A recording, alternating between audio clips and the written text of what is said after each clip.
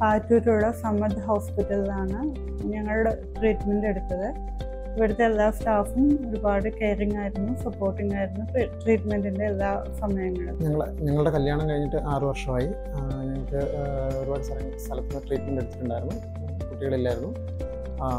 ഇവിടെ പേറ്റൂരുള്ള സമർ ഹോസ്പിറ്റലിൽ പാർവതി മാഡത്തിന്റെ അണ്ടറിൽ ട്രീറ്റ്മെന്റ് എടുത്തതിന് ശേഷമാണ് നമുക്ക് രണ്ട് കുഞ്ഞുങ്ങളെ കിട്ടിയത് ഡോക്ടർ ഭയങ്കര സപ്പോർട്ടീവ് ആയിരുന്നു. ഹോസ്പിറ്റലും സ്റ്റാഫും എല്ലാവരും ഭയങ്കര സപ്പോർട്ടീവ് ഹെൽപ്ഫുൾ ആയിരുന്നു പല ഘട്ടങ്ങളിൽ ട്രീറ്റ്മെന്റിന്റെ പല ഘട്ട